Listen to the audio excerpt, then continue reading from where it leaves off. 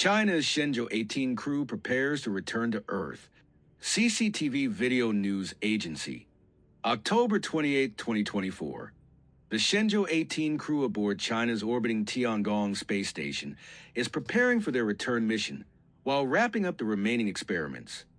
Over the past week, the astronauts continued to carry out experiments in space material science, microgravity fluid physics, and combustion science.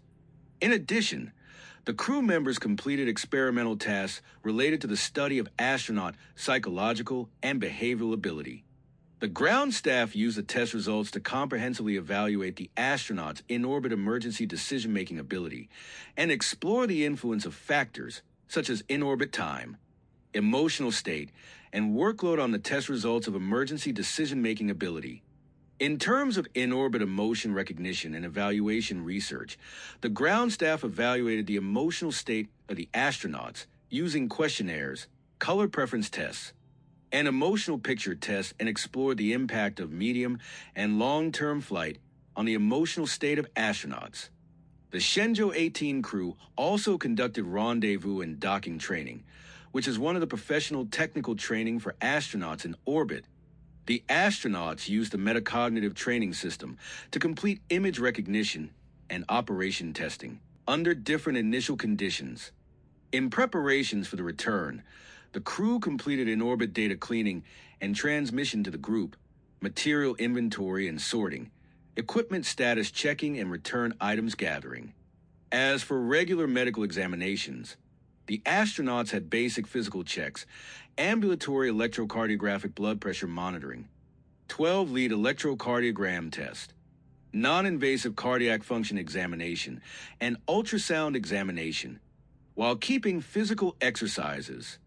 The astronauts use weightlessness physiological protective equipment, including acupoint stimulation clothing and bone loss countermeasures instrument, to reduce the impact of the long term weightlessness environment on their bodies. 国家太空实验室内，空间材料科学、微重力流体物理与燃烧科学等领域实验持续开展。乘组按计划进行了燃烧柜气体实验插件燃烧器更换、流体物理实验柜实验样品更换。此外，乘组完成了航天员心理与行为能力研究相关实验任务。在应急决策能力研究方面，利用计算机及相应测试软件，分别完成基本认知能力测试、风险认知测试、决策风格测试和综合决策任务。地面人员利用测试成绩全面评估航天员在轨应急决策能力，探究在轨时长、情绪状态和工作负荷等因素对应急决策能力测试结果的影响。在在轨情绪识别与评价研究方面。通过填写问卷，完成颜色偏好测试及情绪图片测验，地面人员以此评估航天员情绪状态，探究中长期飞行对航天员情绪状态影响。交会对接训练是航天员在轨期间的专业技术训练之一。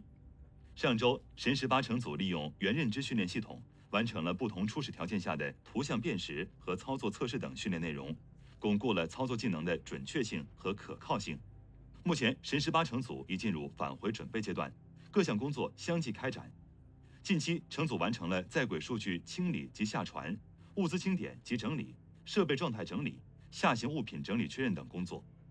任务期间，乘组需定期开展医学检查，通过完成常规检查、动态心电血压监测、十二导心电图检查、无创心功能检查、超声检查等项目，全面监测航天员在轨身体指标状况。